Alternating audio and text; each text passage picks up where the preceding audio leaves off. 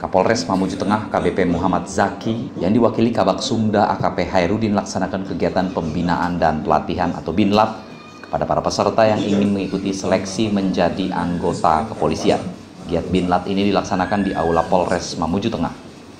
Sebanyak 80 orang peserta BINLAT yang mendaftar untuk mengikuti seleksi diberikan bimbingan dan arahan dari tim BINLAT Polres Mamuju Tengah, di mana keseluruhan peserta merupakan putra-putri daerah.